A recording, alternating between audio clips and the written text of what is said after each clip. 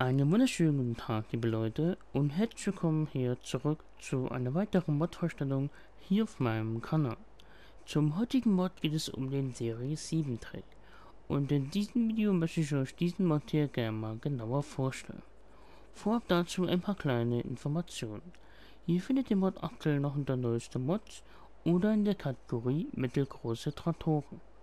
Der Autor von diesem Mod heißt No Emre und die Modgröße beträgt ca. 17,25 MB. Ist aktuell in der Version 1.000 für alle Plattformen verfügbar. Wenn ihr diesen Mod hier zum ersten Mal auf der Konsole kaufen tut, dann kostet euch dieser hier ca. 12 Slots. Wenn ihr diesen Mod zum zweiten Mal kaufen tut, dann nur noch einen Slot. Das Ganze findet man hier aktuell unter Mods und DLCs und da haben wir hier schon den Serie 7 Track.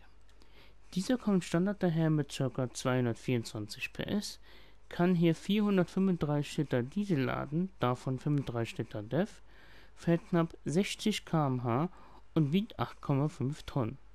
Kostenpunkt in der Standardkonfiguration 185.000 Euro.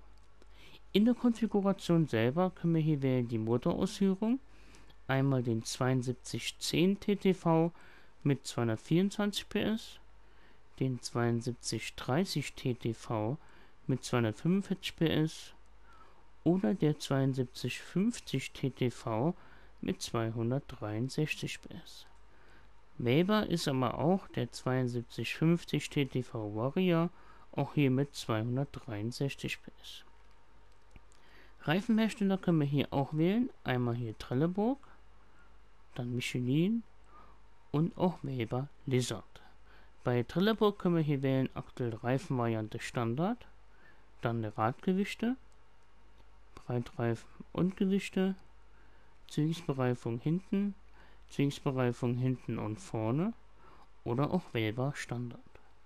Bei Michelin können wir hier wählen aktuell Standard, Breitreifen oder Standard. Und dann können wir hier noch wählen aktuell Lizard. Hier haben wir aber nur wählbar die Reifenvariante Bandlaufwerk. Warnschilder können wir hier auch wählen, aktuell mit Nein oder mit Ja. Und Frontladeranbau können wir hier auch wählen, aktuell wählbar mit Nein oder auch wählbar Ja.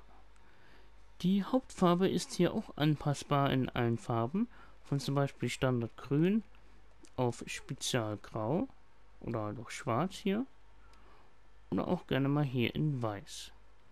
Die Felgenfarbe habt ihr dazu auch anpassbar, auch hier sogar in allen Farben von zum Beispiel Grau auf Schwarz oder gerne hier in Jet Schwarz. Das Kennzeichen dazu könnt ihr auch konfigurieren. Dann kostet uns dieser Serie 7 Truck hier aktuell in dieser Version ca. 201.500 Euro. Ich habe immer hier mal ein paar Modelle hingestellt und möchte diesen hier auch gerne mal ausprobieren. Wir steigen hier mal ein und fangen immer mit dem Licht am Anfang an. Wir haben jetzt zum Beispiel zwei Heckleuchten und die Kennzeichenbeleuchtung ist auch dabei. Des Weiteren haben wir hier vorne die ganzen Leuchten. Vier unterhalb, vier in der Mitte, zwei links, zwei rechts. Des Weiteren kommt hinzu, dass wir hinten Strahler haben, drei links, drei rechts und vorne sogar auch noch Strahler dazu vier Stück komplett oben an der Kabine und die jeweiligen weiteren auch dazu. Dann haben wir hier Blinker vorne rechts, Blinker vorne links, sowohl hinten links als auch hinten rechts zum Beispiel. Rundumleuchter haben wir auch am Dach verbaut. Und was wäre jetzt mal zum Beispiel die Hupe. Jetzt wollen wir das Ganze hier mal starten. Und so hört er sich aktuell beim Starten. Wir können das Ganze hier mal von innen anschauen. Hier haben wir die ganzen Sachen, die wir brauchen. Bildschirme, Display, Joystick, Lenkrad und Co. Und können hiermit mal eine Runde fahren.